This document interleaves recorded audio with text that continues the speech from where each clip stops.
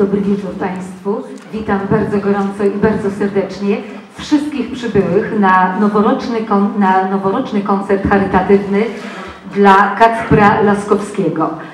Dla Państwa dzisiaj tańczył i śpiewał będzie zespół Kalina z Tarnopola z Ukrainy. A ja pozwolę sobie przeczytać ostatnie listy do redakcji Tygodnika i Łącznika y, Mamy Kacpra. Minął już prawie miesiąc od ostatniego maila. Obecnie Kacperek jest po dwóch cyklach chemioterapii i w poniedziałek zakończył radioterapię. Łącznie 30 naświetlań. Wczoraj wróciliśmy do domu. Pierwszy raz od 3,5 miesiąca możemy być w domu dłużej. Jeżeli się uda, to nawet dwa tygodnie. Dzisiaj rozpoczynamy rehabilitację. Kacperkowi bardzo zależy, zależy, żeby być sprawnym. Dysfunkcji na skutek samego guza, jak i ubocznych efektów leczenia jest naprawdę dużo, więc musimy się brać do pracy. Równie gorąco i serdecznie dziękuję dyrektorowi Domów Czasów Dziecięcych w Głazie, panu Mirosławowi Dębskiemu, który również pomógł nam w zorganizowaniu tego koncertu i w zabezpieczeniu dla artystów noclegu i wyżywienia. Państwu serdecznie za przybycie. Gośćmi jest zespół pieśni i tańca Kalina z Tarnopola z Ukrainy. Kierownik muzyczny to pan Wasyl Jermiczuk i od tego momentu już jemu oddaję głos. Zapraszam do wspaniałej zabawy.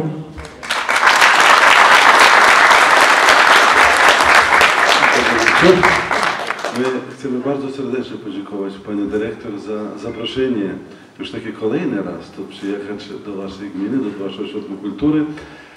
Dzisiaj będą dwa zespoły, zespół Kalina i zespół Zbróć, które będą prezentować kulturę Ukrainy, ale najpierw będą noworoczne utwory, kolendy, bo to jest okres kolendowy jak w Polsce, tak i na Ukrainie.